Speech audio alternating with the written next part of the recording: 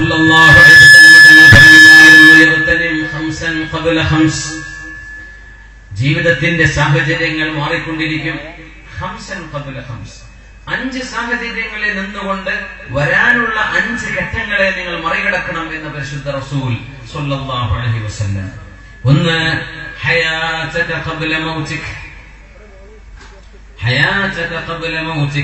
നിങ്ങളുടെ മരണം വരുന്നതിന്റെ മുമ്പ് ജീവിതം ഉപയോഗപ്പെടുത്തേണമേ.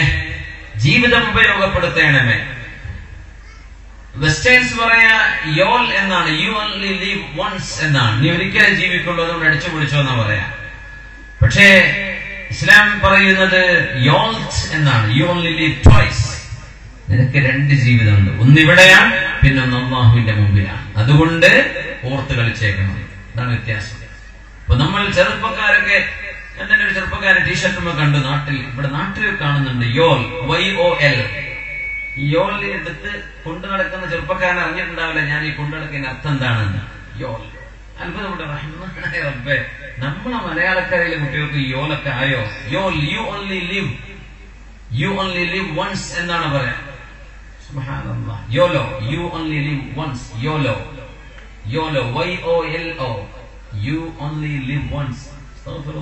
നമുക്ക് വിചാ- വിചാരിക്കാനും വിശ്വസിക്കാനും പാടില്ലാത്തതാണ്. ഒരു ജീവിതം എന്നതിന്റെ അർത്ഥം അതായത് ഇവിടെ മരിച്ചാൽ തീർന്നു. പിന്നെ മണ്ണിലേക്ക് കൊണ്ടുപോയി വെച്ചാൽ നിന്റെ എല്ലാ കർമ്മങ്ങളും കഴിഞ്ഞു എന്ന് ഒരു മൂഢമായ വിശ്വാസം യുവാക്കളിൽ അങ്ങ് പരത്തി കഴിഞ്ഞാൽ പിന്നെ തീർന്നു.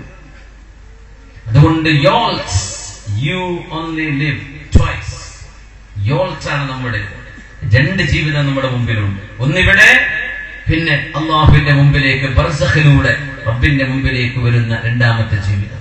ആ ജീവിതത്തിന് വേണ്ടി ഒരുങ്ങാന ആയിരത്തി നാനൂറ് വർഷങ്ങൾക്കപ്പുറം അഷറഫുൽ സല്ലല്ലാഹു അലൈഹി വസല്ലം തങ്ങളിലൂടെ വിശുദ്ധ ഇസ്ലാമിന്റെ അള്ളാഹുവിന്റെ വചനമായി അള്ളാഹു നമുക്ക് തന്ന അള്ളാഹുവിന്റെ തിരുവചനങ്ങളായ ഖുർആാനും അവന്റെ തിരുനബിയും സല്ലല്ലാഹു അലൈഹി വസല്ലം ലോകാലോകങ്ങൾക്ക് മാതൃകയാവാൻ അള്ളാഹു കനിഞ്ഞരുളിയത്. ആ വിശ്വാസത്തിലൂടെ ആ മാർഗരേഖയിലൂടെ ജീവിച്ചാൽ നിന്റെ രണ്ടാമത്തെ ജീവിതവും ഈ ജീവിതവും ഒരുപോലെ നിനക്ക് വിജയിപ്പിക്കാൻ കഴിയും.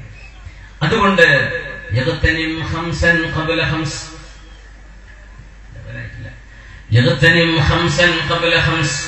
അഞ്ച് വിഷയങ്ങൾ വരുന്നതിന്റെ മുമ്പ് നിങ്ങൾ അഞ്ചു കാര്യങ്ങൾ എപ്പോഴും തയ്യാർ ചെയ്തു വെക്കണം. മരണം വരുന്നതിന്റെ മുമ്പേ ജീവിതം ഉപയോഗപ്പെടുത്തണം.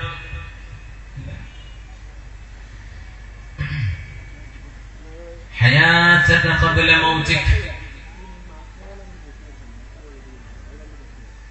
آئی لائی حیات آئے خزالے چلی چلے، اپنی خوشی سے آئے، نہ اپنی خوشی چلے۔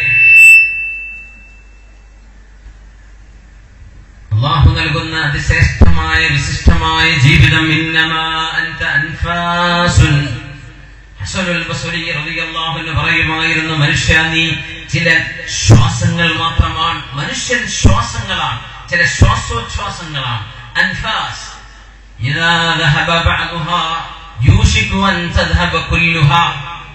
കുറച്ച് ശ്വാസം നീ എടുത്ത് നശിപ്പിച്ചു കളഞ്ഞാൽ ഇനി മുഴുവനും നീ എടുത്ത് കളയാൻ പോവാൻ അതുകൊണ്ട് നീ അവസാനിച്ച് ഇവിടെ നിന്ന് പോവേണ്ട ഒരാളാണ്. അതുകൊണ്ട് നിന്റെ മരണം നിന്റെ മുമ്പിലുണ്ടെന്ന് ഓർത്തു വെച്ചോ മുത്തലിബി തങ്ങൾ പറയാണ്. ആരോഗ്യം തന്നുവല്ലോ. ആരോഗ്യം തീർന്ന് നിനക്ക് അസുഖം വരും. ചിലപ്പോ ഒരു ആക്സിഡന്റ് ആയിരിക്കും. ഒരു ബൈക്ക് ആക്സിഡന്റ് എത്ര നടത്തുന്നു? സുഹാനല്ല കഴിഞ്ഞ ഏതാനും ദിവസങ്ങൾക്ക് മുമ്പാണ് കാഞ്ഞങ്ങാട് ഒരു ഫാമിലിയിലെ അഞ്ചോ അഞ്ചോളം ആളുകൾ അഞ്ചോ ആറോ ആളുകൾ ഒന്നിച്ച് ഒരു കാർ യാത്രയിൽ നോമ്പ് തുറക്കുന്നതിന് തൊട്ടു മുമ്പ് മരത്തിലിടിച്ച് നിങ്ങൾക്ക് അവിടെ ആ മരിച്ചവരെന്നോട് ചെയ്ത് പോരാൻ പറ്റിയില്ല രാവിലെ. അള്ളാഹുവേ ആ കുടുംബം ആലോചിച്ചു പോയോ? അടുത്ത ആഴ്ച മണ്ണിലേക്ക് പോവാണ്. അഞ്ച് കബറുകൾ ഒരുമിച്ച് അഞ്ചോ ആറോ കബർ അല്ലെ? എത്രയോ ആറ് പേർ ആറ് കബർ ഒരുമിച്ച് പള്ളിയുടെ തൊട്ട് മുമ്പിൽ റോഡ് സൈഡിലാക്കി അവരെ മറവിയതിരിക്കുകയാണ് സുബ്ഹാനല്ലാ. കുട്ടിന്റെതിൽ ആണുങ്ങളുണ്ട് പെണ്ണുങ്ങളുണ്ട് ചെറുപ്പക്കാർ. ആരെന്തറിഞ്ഞു? നമ്മൾ ഒന്ന് ഞെട്ടും. പിന്നെ ഒരു ദിവസം കഴിഞ്ഞ് ആ ഞെട്ടിൽ പോകും. അങ്ങനെ ആയിക്കൂടാ. ആരോഗ്യം നഷ്ടപ്പെട്ട് ബെഡ്രിഡനായി കഴിയുന്ന എത്രയോ രോഗികളുണ്ട്. അസുഖങ്ങൾ വരുന്നതിന്റെ മുമ്പേ ആരോഗ്യം ശരിക്കും മുതലെടുത്തോ ഇബാദത്ത് ചെയ്യാമോ?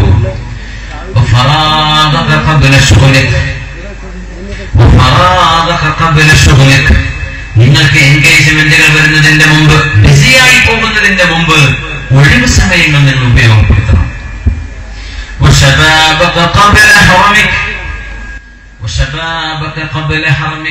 നിങ്ങളുടെ യങ് ഏജ് യൂത്ത് യുവാവായിരിക്കുന്ന സമയം നാൽപ്പത് വയസ്സിൽ താഴെ പ്രായമുള്ള സമയം ശരിക്കും ഉപയോഗപ്പെടുത്തിക്കോ. ഒരു വാർദ്ധക്യം നിങ്ങൾക്ക് വരാനിരിക്കുന്നുണ്ട്. മുത്തനബി ഞങ്ങൾ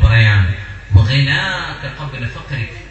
ദാരിദ്ര്യം വരും. ഇപ്പോ നല്ല ഐശ്വര്യമുണ്ട് കയ്യിൽ പൈസയുണ്ട് പക്ഷേ ഒന്നുമില്ലാത്തൊരവസ്ഥ നിങ്ങൾക്ക് വരാൻ പോവുകയാണ്. അതുകൊണ്ട് ദാരിദ്ര്യം വരുന്നതിന്റെ മുമ്പേ ദാരിദ്ര്യത്തിന്റെ മുമ്പേ നിഅമത്തുള്ള ഐശ്വര്യമുള്ള സമയം ഉപയോഗപ്പെടുത്തണം എന്ന് പരിശുദ്ധ റസൂലുള്ളാഹ് സ്വല്ലല്ലാഹു അലൈഹി വസല്ലം يغتنم خمسا قبل خمس حياتك قبل موتك وصحتك قبل سقمك وفراغك قبل شغلك وشبابك قبل هرمك وغناك قبل هرم قبل فقرك പരിശുദ്ധ റസൂലുള്ളാഹ് സ്വല്ലല്ലാഹു അലൈഹി വസല്ലം തങ്ങൾ ദീർഘദർശനം ചെയ്യുന്നു. ഈ ജീവിതം വിലപ്പെട്ടതാണ്.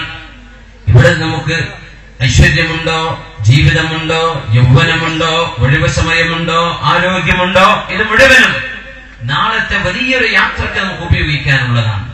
അത് തയ്യാർ ചെയ്തു വെച്ചാൽ ഇവിടെയും ടെൻഷനില്ല നാളെ പരലോകത്തും ടെൻഷനില്ല. അള്ളാഹുവേ ആ ഒരു തൗഫീഖ് നമുക്കൊക്കെ നൽകണമേ തമ്പുരാനെ എന്ന് റബ്ബിനോട് നമ്മൾ ചെയ്യുകയാണ്. റസൂലുള്ളാഹി സ്വല്ലല്ലാഹു അലൈഹി വസല്ലം തങ്ങൾ വളർത്തിയെടുത്ത ഒരുപിടി യുവാക്കളെ നമുക്കിന്ന് പരിചയപ്പെടാനുണ്ട്. ഹബീബായ നബി തങ്ങളുടെ സ്വഹാബത്തിന്റെ ചരിത്രം നമ്മൾ പരിശോധിച്ചു നോക്കുമ്പോൾ അവരിലുണ്ട് മഹാനായ സുബൈർ അവ്വാം റളിയല്ലാഹു തആല. ബഹുമാനപ്പെട്ടവർ ഇസ്ലാമിക സേവനത്തിലേക്ക് കടന്നു വരും കടന്നു വരുമ്പോ ഇബ്നുൽ അവ്വാം റളിയല്ലാഹു അൻഹുവിന്റെ വയസ്സ് പതിനഞ്ചാണ്. പതിനഞ്ച് വയസ്സാണ് ടീനേജറാണ് ഫിഫ്റ്റീൻ ഇയേഴ്സ് ഓൾഡ് മഹാനായ ഇസ്ലാമിക രണാങ്കണങ്ങളിൽ പോരാളിയായി പടപരുതിയ മഹാനായ സുഹാബി നമ്മൾ കേൾക്കുമ്പോ അവരൊക്കെ വലിയ പ്രായമുള്ള ആളുകളായിരുന്നു എന്ന് വിചാരിക്കും. സുഹാബിയാകുമ്പോ അൻഹുവിന്റെ വയസ്സ് പതിനാറാണ്. പതിനാറ് വയസ്സായിരുന്നു. മഹാനായ സഅദ് നബി വഖാസ് അൻസ്വാരികളിൽ സ്വഹാബികളിൽ തന്നെ ദുആഇന് പ്രത്യേക ഉത്തരമുണ്ട് എന്ന് നിബിതങ്ങൾ നിബിതങ്ങളുടെ നിബിതങ്ങളോട് ചോദിച്ചു വാങ്ങിയ ആ ഒരു പുണ്യമുണ്ടായിരുന്ന സ്വഹാബിയാണ് റളിയല്ലാഹു അൻഹു. ദുആക്ക് ഉത്തരമുണ്ട്. ചോദിച്ചാൽ ഉടനടി ഉത്തരം ലഭിക്കും. അങ്ങനത്തെ മഹാനാണ്. എത്ര വയസ്സെന്നറിയോ? പതിനേഴ് വയസ്സ്. ടീനേജറാണ് അബി വഖാസ് റളിയല്ലാഹു നമ്മൾ കേൾക്കുന്ന പേരുകളാണ്. കേൾക്കും വിചാരിക്കും ഇവരൊക്കെ അമ്പത് അറുപതൊക്കെ വയസ്സുള്ള ആളുകളായിരിക്കണമെന്ന്. അല്ല ഹബീബിന്റെ കൂടെ അവർ കൂടുമ്പോ അവരുടെ വയസ്സ് പതിനാറും പതിനേഴും ഒക്കെയാണ്.